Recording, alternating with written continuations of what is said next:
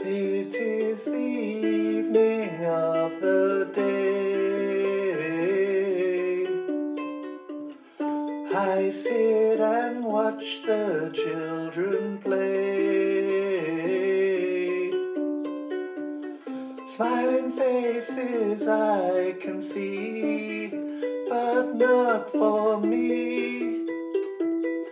I sit and watch as tears go This is a ukulele tutorial for As Tears Go By, which was written by Mick Jagger, Keith Richards, and the Rolling Stones manager Andrew Loog Oldham. It was originally recorded by Marianne Faithfull in 1964 and then later recorded by the Rolling Stones themselves in 1966. For the sake of this tutorial, we'll be looking at the song in the key of G major as per the Rolling Stones version. The Marianne Faithfull version was recorded in the key of C. We'll be looking at the chord sequence and a simple finger picking pattern that can be played throughout.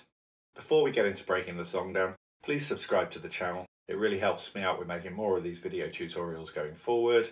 If you'd like a PDF of the song sheet with the lyrics and the chord shapes, either buy me a coffee, see how to do so in the link in the description below the video, and I'll email it over to you. Alternatively, you could join me at Patreon where all my tutorials and accompanying PDFs can be found in one place. The link for this can also be found in the description below. The song is in 4-4 or common time, and most of the time each chord is played for just one bar before moving to the next. If I'm strumming the chords, I tend to just use the generic calypso or island strum, so down, down, up, up, down, up for each bar. Let me just demonstrate this over the first four bars of the intro.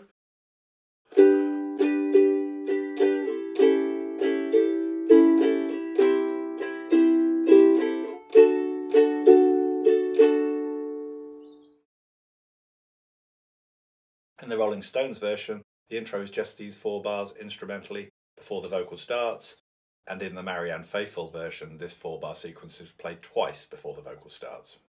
The chords we're playing here are a bar of G, and then a bar of A7, followed by a bar of C, and finally a bar of D to finish the sequence. I generally prefer to play this sequence around twice, but it's completely up to you. You could also play the D major here as a D7 chord, as it's the dominant chord in the key of G and is also played as a D7 in all the verses of the song. As I said before, if I'm strumming the chords, I would probably just play the calypso or island strum as just demonstrated, but if I wanted to finger pick over the chord changes, a pattern that seems to work quite well is this 8-beat sequence.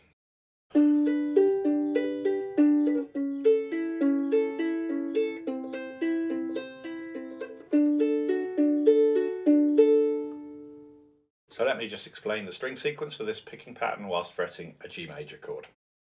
Please note that the string names I'm giving you here are the names of the open strings of our ukulele and not the notes within the chord. The same sequence is then repeated over each chord shape in turn. For this picking pattern, I'm only ever playing the three strings nearest the floor, and I'm never actually playing the G string, the string nearest my face. So first we pick the C string, the third string from the floor, with our thumb, and then we pick the A string, the string nearest the floor, with either our middle finger or index finger.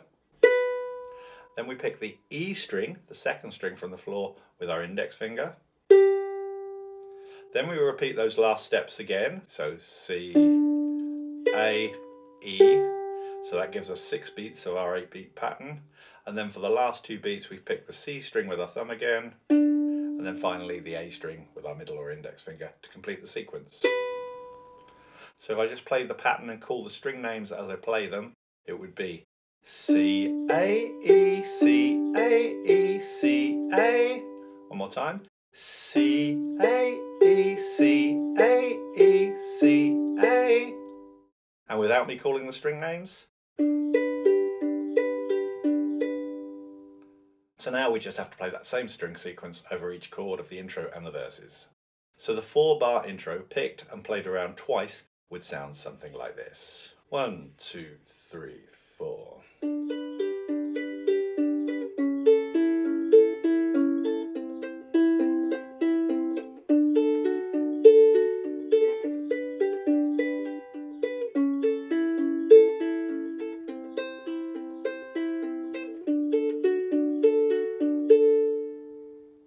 So now you have the option to either strum the chords or fingerpick them.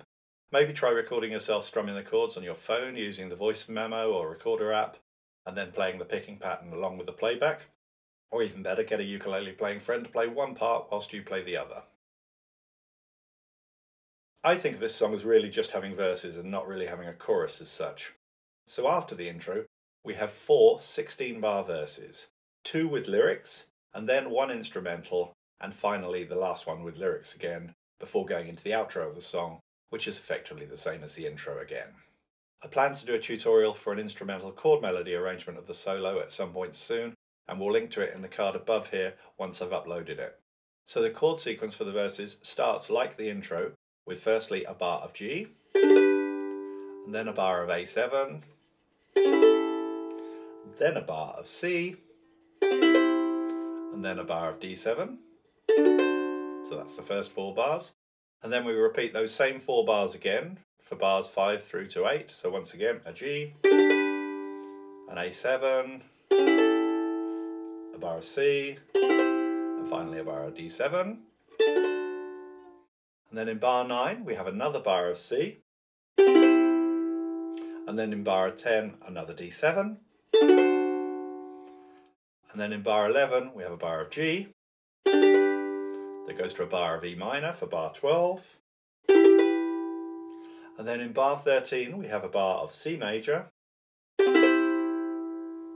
And then in bar 14, we have a slightly harder split bar where we stay on the C chord from bar 1 for beats 1 and 2. Then play a B minor chord on beat 3. And finally an A minor 7 on beat 4 of the bar. Now this can be a little tricky, especially with the finger picking as we're changing chords mid-pattern. And we play half the pattern over the C chord, so the strings C, A, E, C. And then for the B minor chord, we just pick the A and the E strings. And then for the A minor chord, we just pick the C and the A string to finish the pattern before changing to the chord in the next bar. I generally find this much easier if I don't think about it too much and try to maintain the picking pattern sequence or strumming pattern throughout the chord changes. Then finally, in bars 15 and 16, we just have two more bars of D7, which set us up to go into the next verse. So let me demonstrate verse 1 here strummed, and then verse 2 using the finger picking pattern so you can hear the different options. One, two, three, four. It is the evening of the day. I sit and watch the children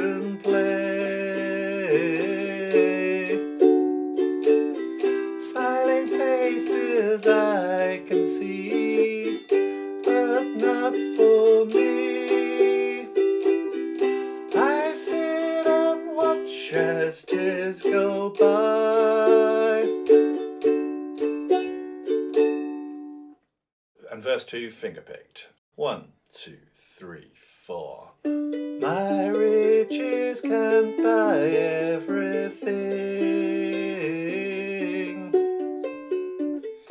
I want to hear the children sing.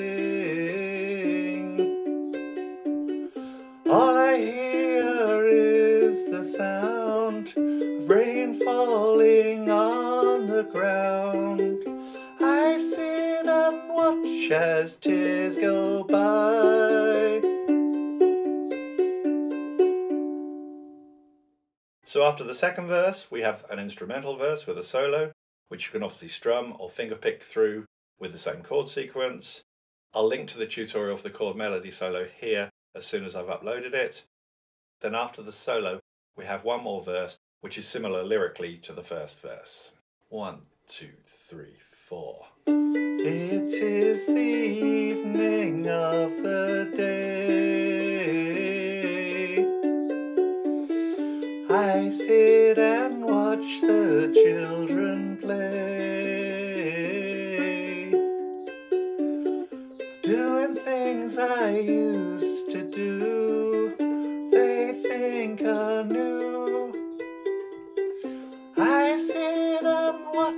as tears go by.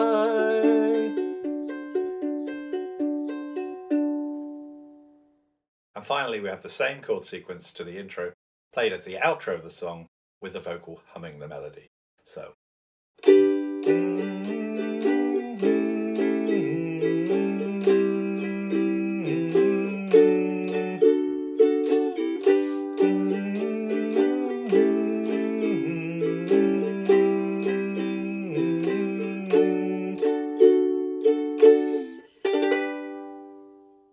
So that about wraps things up for this arrangement of As Tears Go By in G major.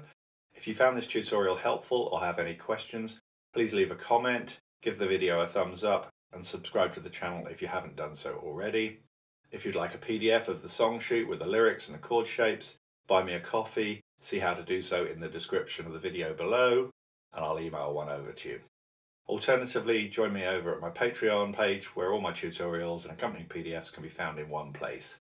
The link for this can also be found in the description below. Thanks for watching and bye for now.